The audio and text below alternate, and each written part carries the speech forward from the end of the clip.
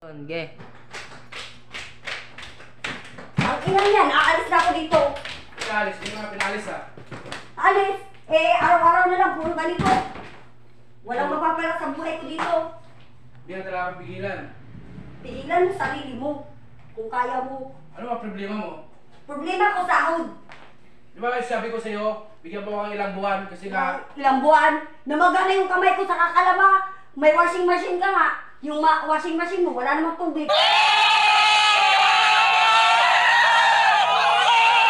Automatic pa, para mukha mo automatic.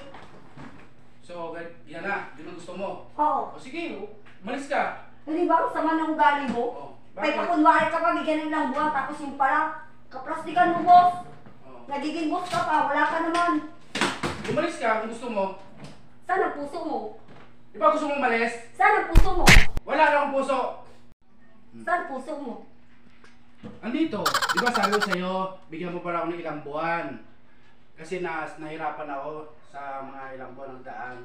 Di mo maintindihan yun? Tapos sabi ngayon, dadala mo yan, tapos lalayas ka. Di mo ito pinapalayas ah. Pagod na ako, boss. Oo. Pagod na pagod na yung labandera mo, nakakudkod ng CR, inodoro. Hindi yun eh. Hindi ka ba naawa?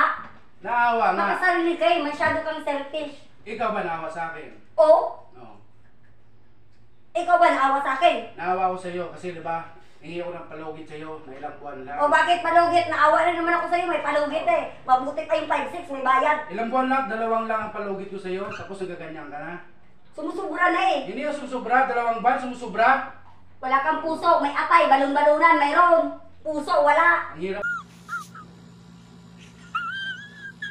mo paliwanagan. Hirap eh, pagod na kayong tao eh. Gusto na umuwi eh. Di umuwi ka kung gusto mo. O, di ba? O, di ba? O, sahod ko. O, di file busy ko na lang kung gusto mo. Kunwari ka lang, kaplastikan mo, make your own slave. Ang dami mong sinasabi. Eh, totoo naman ah. Tapos, ikaw, gusto mong umalis, umalis ka. Eh, alis, nalayas. Maluwag, maluwag sa puso ko kung alis ka. Pero, sinasabi ko sa'yo, hindi kita pinapalis. Pero kung pumipilit ka, umalis ka kung gusto mo. Gago ka pala eh. Tiraulo ka eh. Gago ka. Di ba barangay kita? Ikaw lang yung among tiraulo. Ba't ka mananakit? Oo.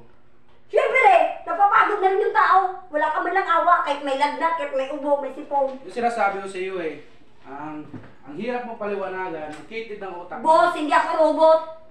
O sige, umalis ka. Sarili mo lang iniisip mo, makasarili ka eh. Masyado ka eh. O dapat pag umalis ka. Akala mo nagbibiro ako? Paano Walang biro dito. Paano Walang umalis biro. ka? Pa- umalis ka, paano na ako? O, Eh, di ba ka sa buhay mo? o ngayon, pa paano ka na rin? Wala ka pamasahe, wala pera.